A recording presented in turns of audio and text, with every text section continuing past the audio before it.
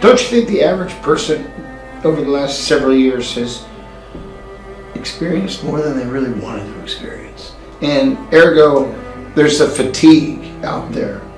Um, period. And that changes everyone's perspective toward the rules. I think that people now are surrendering to the rules a little bit. I also think there's a, a whole segment of the, of the population, multiple segments, that are still going to fight the rules, and it's actually becoming more militant than it probably needs to be in that regard.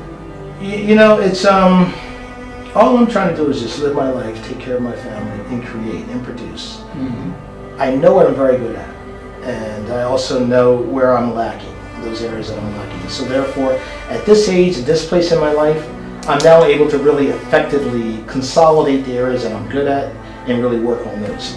Um, it's hard to move a person who's lost to another place.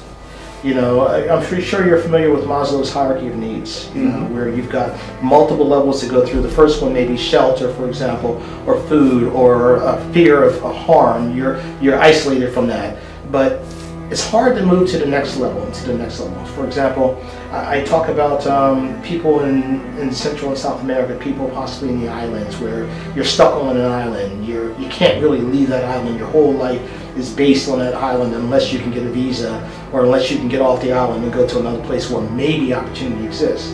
For those folks that are stuck on those places or in those isolated areas like that, they don't have the ability to self-actualize, uh, self-actualize that highest, that fifth level.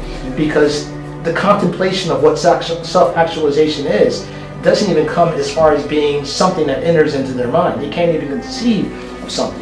It's like, for example, taking an indigenous person from the Amazon and, and asking them to do geometry where they can't even conceive of these concepts of geometry because they're so far outside of that realm of thought. It's again, things layer. And if you don't have the math, you don't have the addition, the subtracting, the multiplication and so forth, there's no way in the world you can do geometry.